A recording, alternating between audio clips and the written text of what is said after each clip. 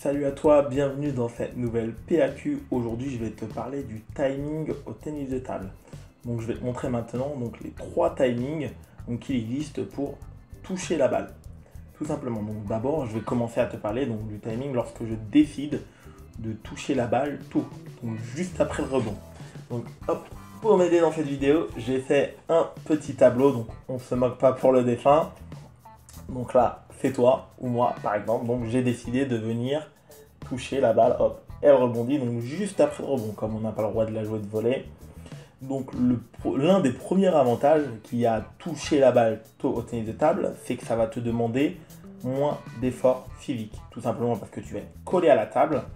Donc à chaque fois, si tu touches la balle juste après le rebond, tu vas venir couper la trajectoire de la balle à chaque fois peux comprendre. Donc, au lieu, si je suis à 50 cm ou 1 mètre, si je suis à 1 mètre, à chaque fois que le joueur va me faire me déplacer dans mon coudron, dans mon verre, je dois pousser fortement sur les jambes, je dois utiliser mon bassin, mon avant-bras, tout mon bras pour renvoyer la balle sur la table. Donc, sur un point, c'est pas très grave, mais sur un set, sur un match, sur plusieurs matchs, évidemment, il y a une dépense physique, une dépense énergétique qui va être beaucoup plus importante. Donc, ça, le premier avantage, si je touche la balle tôt, donc je ne vais pas avoir, donc je vais beaucoup jouer hop, ici avec ma main, un petit peu avec mon avant-bras bien évidemment, pour envoyer la balle. Donc là, hop, je marque. Moins d'effort physique. Tout simplement pour toi. L'un des deuxièmes avantages, c'est que tu vas pouvoir prendre de vitesse ton adversaire sans avoir la contrainte technique de le faire. Tout simplement, donc pour mettre de la vitesse, donc bien évidemment, on peut utiliser donc son, haut du corps au tennis de table, son bassin, son avant-bras. Mais là, justement, parce que tu vas toucher la balle tôt, donc juste derrière le rebond sur ta table, tu vas pouvoir prendre de vitesse ton adversaire. Donc ça c'est important. Ça c'est l'un des, le, deuxième avantage. Tu vas pouvoir, donc la vitesse de ton adversaire, il va toujours se sentir agressé. Donc là, donc là, la vitesse perçue et je mets également la vitesse réelle. Donc la vitesse perçue par ton adversaire et la vitesse, donc du coup elle devient réelle, ton adversaire est là. Tu lui laisses pas beaucoup de temps pour s'organiser, pour faire des choses. Donc ça c'est quand même quelque chose qui est assez sympa.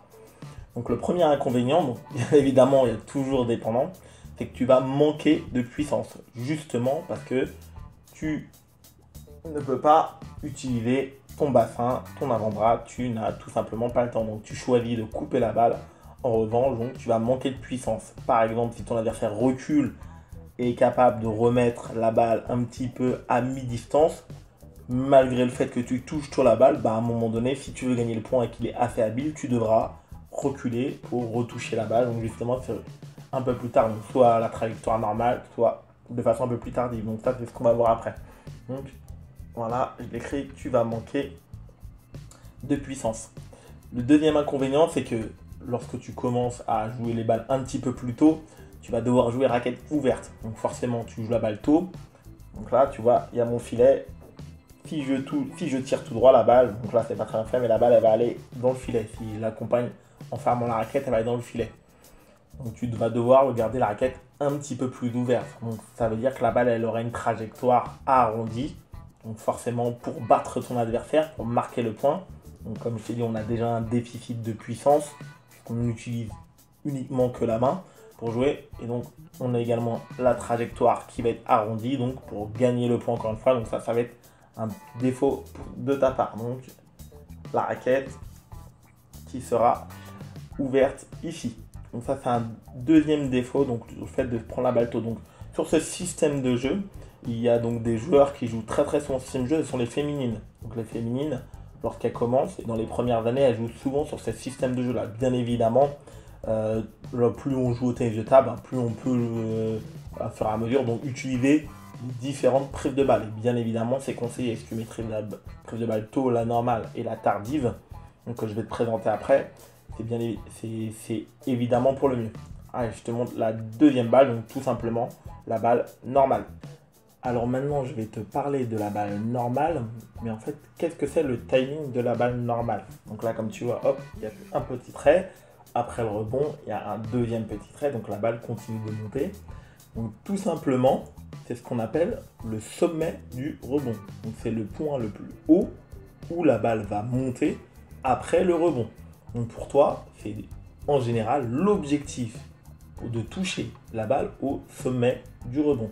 Donc là, par rapport à mon dessin, on imagine que c'est plutôt un top spin.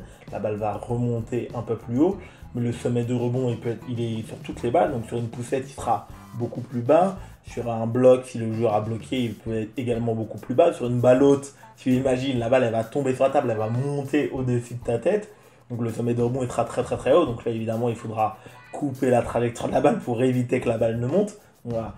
On, ne, joue pas toujours la balle au sommet du rebond, donc par exemple sur une balle haute ou sur une défense coupée, ça va dépendre évidemment de la balle, mais dans le cas d'une balle classique, ça va être l'objectif, jouer la balle au sommet du rebond. Donc ça c'est le premier point important. Donc la balle normale, c'est d'essayer de la jouer au sommet du rebond. Le deuxième point, c'est que pour toi, si tu la joues au sommet du rebond, ça va également augmenter tes chances de jouer, bien évidemment, bah, la balle parfaite. je prends le cas LDP, la balle parfaite d'une initiative coup droit. Le joueur a effectué une poussette. Bah, au lieu de la jouer tôt, là, j'ai pas, la balle, comme il y a de l'effet dedans, j'ai pas envie de prendre le risque de la jouer tôt. C'est assez compliqué techniquement. Bah, je la laisse monter un maximum. Et là, je vais essayer de déclencher mon top spin. Donc, j'ai l'opportunité si je la touche au sommet du rebond, de jouer la balle parfaite avec le plus de vitesse, le plus de force possible. Ça, c'est important. Moi, pendant des années, donc je me suis vraiment concentré là-dessus dans tous mes entraînements pour toujours essayer. Voilà, mon entraîneur, il m'avait vraiment sensibilisé à cette notion de timing, aux notions de toucher la balle au moment où elle est le plus haute et même lorsque vous êtes en avance, de ne pas se précipiter. Le deuxième élément, c'est que dernier élément, c'est que tu vas avoir bah, justement un temps technique. Simplement le temps pour réaliser 90-95% euh, des côtés de table. Lorsque tu vas la toucher au sommet du rebond. Euh, le, la poussette, le bloc, le top spin, le contre-top, etc., etc. Donc tu auras un temps technique, voilà, donc le temps classique d'un échange. Donc la balle rebondit, je me suis déplacé, je réalise le geste technique adéquat.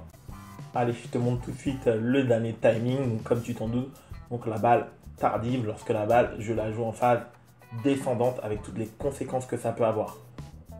Le dernier timing auquel tu vas toucher ta balle, c'est lorsque tu vas toucher la balle en phase, regarde, comme sur mon dessin, en phase descendante. Donc la balle rebondit sur la table et là, hop, je la joue lorsqu'elle est au niveau de la table. Donc j'ai bien dit en phase descendante, que je vais revenir sur ce point à la fin de la vidéo, et pas forcément en retard.